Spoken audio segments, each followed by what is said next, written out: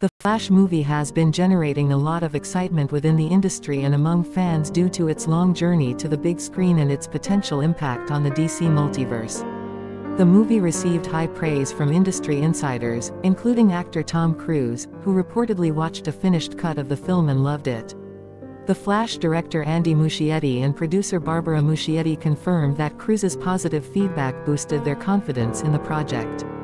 If anything, we got more confidence in the thing that we did, because the movie was finished by the time that Cruise and King saw it, so it was a confidence boost if anything, said Andy. It's a very cynical industry, and to hear people that really have no skin in the game, because they have nothing to gain, just say something that lovely, in the case of Tom Cruise, he called us, talked for 15 minutes, praising Andy, praising the film, and it just feels very good because we really work very hard to make these movies, Barbara echoed. The Flash, set to release on June 16, aims to reshape the DC multiverse by delving into time travel and introducing both familiar and new heroes. The story follows Barry Allen, played by Ezra Miller, as he ventures into the past to alter history, leading to significant consequences for the future.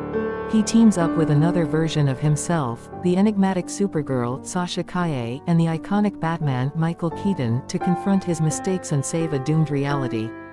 Directed by Andy Muschietti, the film features a screenplay by Christina Hodson, based on a story by Joby Harold, and is produced by Barbara Muschietti. The movie explores a suspenseful narrative that combines elements of time travel, the origin story of Barry Allen's parents, and the emotional journey of the protagonist.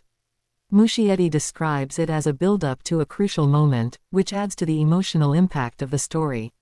In this adaptation of the Flashpoint storyline, Barry Allen grapples with the mysteries of his altered reality, such as his mother being alive and his lack of powers.